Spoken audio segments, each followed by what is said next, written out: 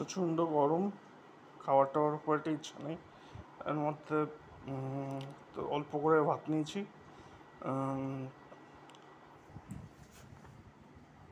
এই, এটাও বেশি হয়ে গেছে ভাত।